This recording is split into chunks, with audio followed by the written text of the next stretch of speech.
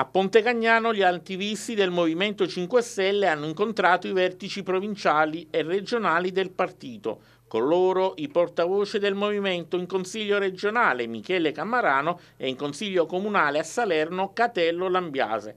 La coordinatrice provinciale pentastellata Virgilia Villani ha affermato il Movimento 5 Stelle di Pontecagnano Faiano non si fa trovare impreparato. Qui come a Salerno abbiamo dovuto rilevare che la visione di sviluppo delle comunità a guida PD è sempre la stessa, la speculazione edilizia mentre il Movimento 5 Stelle si è battuto ed ha ottenuto importanti opere come l'aeroporto e di conseguenza la nuova linea della metropolitana.